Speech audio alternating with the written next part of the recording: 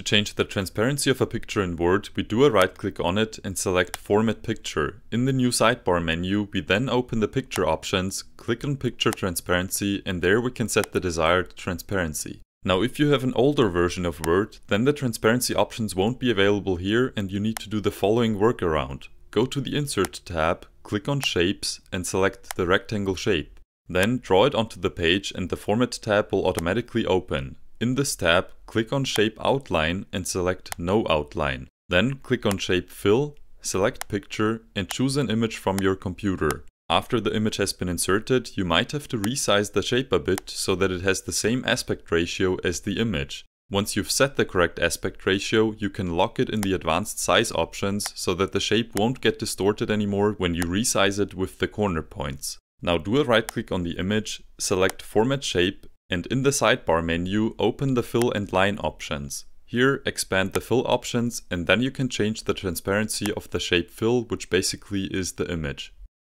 If this short video was the solution to your problem then you could do me a huge favor by hitting the like and the subscribe button. Thanks a lot and I see you in the next one.